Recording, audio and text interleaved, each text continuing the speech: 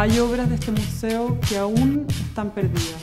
Una parte de la colección de este museo se perdió después del golpe del 73 y aún permanece desaparecida. Es por eso que las estamos buscando y reconstruyendo nuestra historia mediante redes de colaboración nacionales e internacionales, porque este es patrimonio de todas y de todos.